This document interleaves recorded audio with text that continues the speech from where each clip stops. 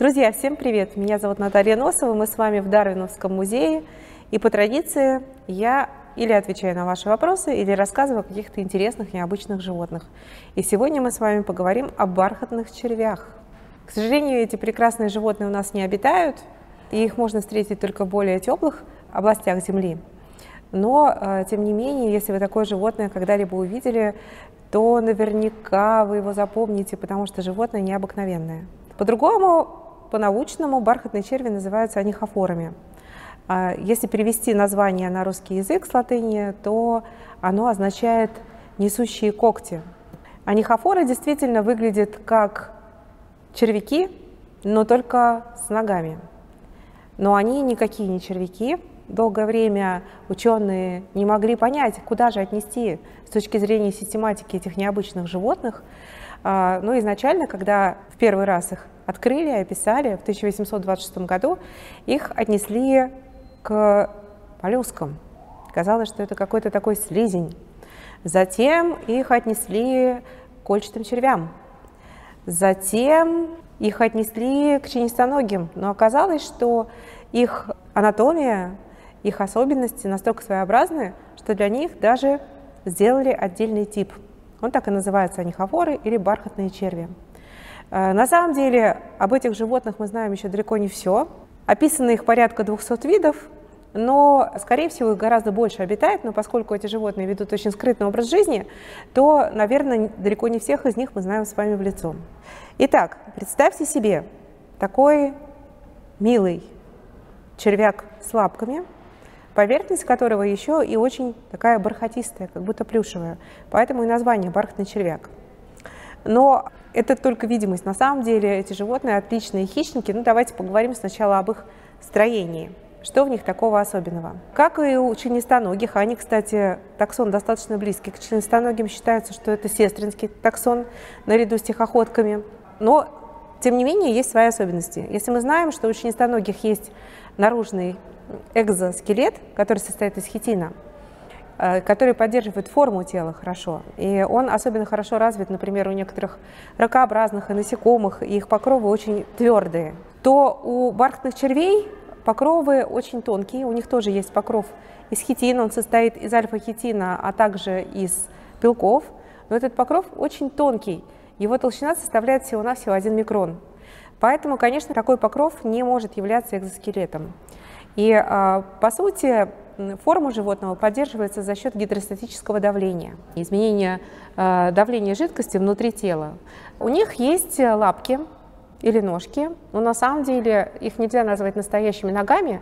Представьте, это такие просто придатки выроста их тела, а, в которых, например, нет никаких сочленений. И каждый такой придаток заканчивается коготками. Собственно говоря, поэтому их название латинское анихофоры, то есть несущие когти. На каждой лапке есть по два когтя. Эти когти помогают им держаться на грунте. Э, кроме того, если посмотреть на голову анихофоров, то у них есть э, два усика. Эти усики довольно длинные и мясистые, и эти усики являются органами осязания. Рядом с усиками на голове расположены глаза. Глаза довольно просто устроены, но тем не менее у них есть линзы, и зрение у этих животных, безусловно, присутствует. Там же рядом расположен рот, а во рту находятся потрясающие совершенно челюсти. Эти челюсти имеют серповидную форму, они имеют зазубрины, и это такое прям серьезное оружие. Э, бархатные черви, они не очень-то большие. Как правило, они бывают размером примерно от 5 мм до 15 сантиметров. 15 сантиметров – это максимум. Самое большое разнообразие, ну, по крайней мере, самое большое количество описанных видов э, бархатных червей обитает э, в Австралии. Но есть они также и в Африке, и в Юго-Восточной Азии, есть они и в Америке. Но, тем не менее, все-таки пока еще, по всей видимости, действительно нам предстоит много узнать и много описать. С чем связано вот это вот их э, ощущение бархатистости их поверхности? Дело в том, что вот э, хитин, хитиновый покров этих животных, он состоит из таких мелких чешуек. И еще э, на хитиновом покрове этих животных много сосочков, э, каких-то складочек, поэтому создается впечатление такого милого, мимимишного, плюшевого животного. Они действительно выглядят очень приятно. И, кстати, те, кто их трогал, говорят, что и на ощупь они тоже очень приятные, потому что покров хитиновый тонкий, он не создает вот такого вот прочного, прочного наружного скелета. А, кстати говоря, благодаря тому, что нет такого твердого хитинового панциря, они еще и способны проникать а, в очень узенькие щели, потому что их а, кожа, их кожные покровы, они очень мягкие. Известны они в палеонтологической летописи очень давно. Это группа животных очень древняя, и, например, известные виды, которые жили 500 миллионов лет назад, и с тех пор они особенно сильно не изменились. И, пожалуй, самый известный э, древний родственник наших бархатных червей – это галлюцигения, которая была найдена э, в сланцах Бёрджес. Э, очень необычное животное с очень необычным строением тела. Тот же вариант, на самом деле, строения очень похожи, который за полмиллиарда лет практически не, не претерпел никаких изменений, и она э, имеет очень много таких э, древних черт, которые достались ей по наследству еще от водных предков. Какие условия они предпочитают для своей жизни? Дело все в том, что вот этот тонкий слой хитинового покрова, который у этих животных есть, он абсолютно не защищает их от потери влаги. А, и еще у них есть такая система дыхания, которая свойственна, например, для насекомых. Они дышат при помощи системы трубочек трахей. Эти трахеи открываются наружу отверстиями. И, соответственно, это животное через свои покровы тела и через дыхальца может терять достаточно много влаги. Собственно говоря, для предков современных бархатных червей это было абсолютно неважно, потому что предки бархатных червей были животными, обитающими в водной среде, а вот для современных анихофор это очень важно, и поэтому они предпочитают какие-то такие места обитания, где поддерживается достаточно высокая влажность, потому что иначе они могут довольно быстро погибнуть от обезвоживания. Но еще они не любят свет, то есть там, где тепло и влажно, как раз для них самые такие подходящие условия жизни. В зависимости от вида у этих животных бывает разное количество ног, у кого-то больше, у кого-то меньше. Устройство у них э, чем-то, может быть, напоминает устройство членистоногих, но если там мы видим четкую сегментацию, то у анихофор или бархатных червей э, сегментация не особенно внешне заметна. Ну вот, пожалуй, лучше всего заметные сегменты на голове, потому что голова состоит из трех сегментов. Анихофоры могут быть разного цвета, порой довольно яркого. Они бывают не только черными и бежевыми, они бывают красными, оранжевыми, синими, иногда очень ярких цветов. Вообще животное необыкновенно красивое.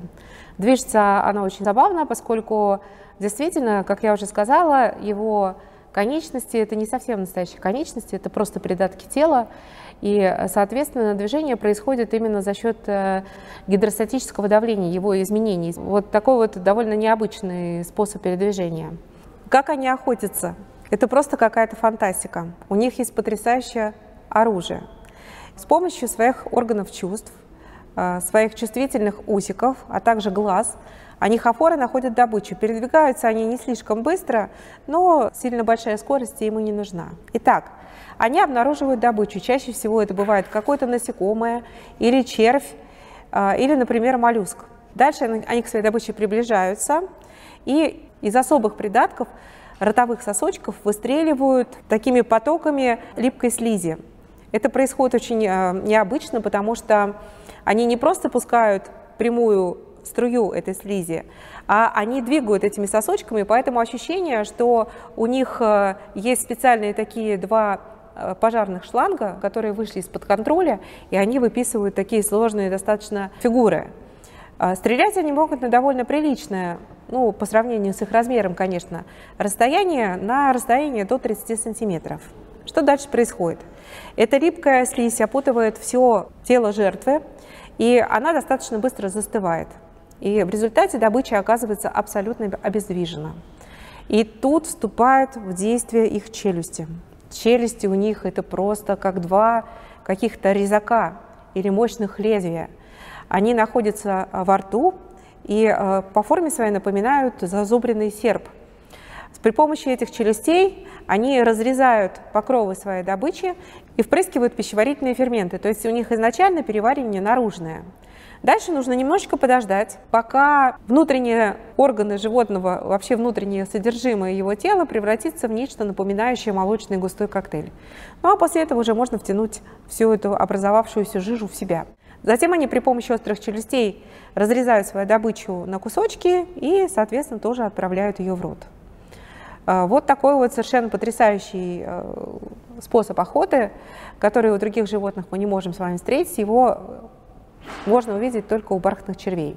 Так что вот такой вот вроде с виду очень милый мягкий такой вот персонаж может, оказываться, быть довольно серьезным, даже, пожалуй, жутким охотником. Но, пожалуй, не менее интересно, как эти животные размножаются. Несмотря на то, что видов мы знаем пока еще не очень много, у них существует большое очень разнообразие в способах размножения. Но, во-первых, э, надо сказать, что они раздельно полы, у них есть самцы и самки. Э, и самцы э, в период размножения, они свою сперму специальным образом упаковывают. Получается, что они как бы запаковывают ее в такую оболочку, которая называется сперматофор. Дальше у некоторых видов самцов есть специальные выросты на голове, выступы или наоборот какие-то углубления, в которых они размещают свои сперматофоры как корону для того, чтобы преподнести сперматофоры самки. Но не у всех. Некоторые бархатные черви Э, самцы, они размещают эти сперматофоры прямо на спине или э, на боку у самки. И дальше происходит очень удивительная история. Постепенно наружный покров тела э, растворяется, и прямо через кожу сперма э, попадает внутрь тела самки и происходит оплодотворение. Но у некоторых видов, э, конечно, не все так сложно. А, сперматофоры просто попадают сразу в половые пути самки, и там уже э, как бы все дальше по нормальной обычной схеме.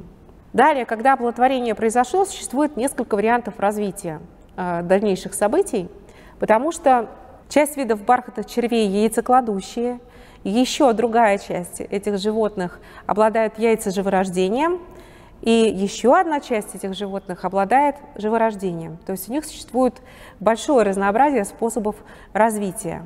Те виды, которые э, откладывают яйца, их яйца достаточно большие, они размером до 2 мм и снабжены довольно крупным желтком для дальнейшего развития э, зародыша.